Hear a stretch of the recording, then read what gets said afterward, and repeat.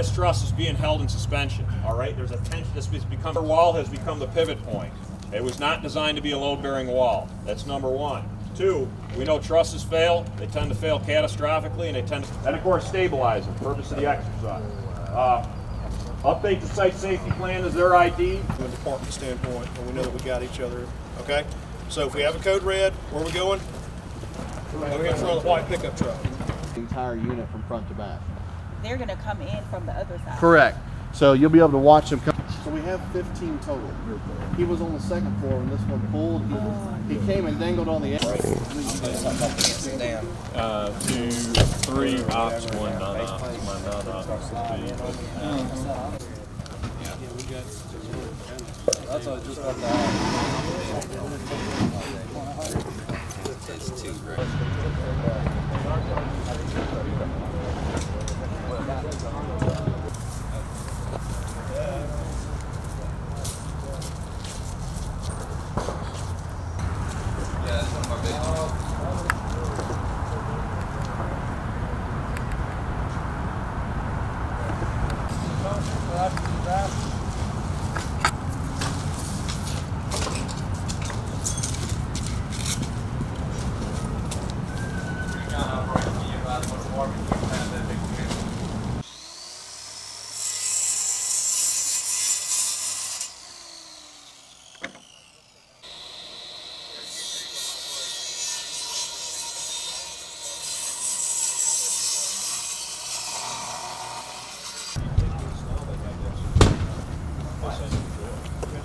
still tight.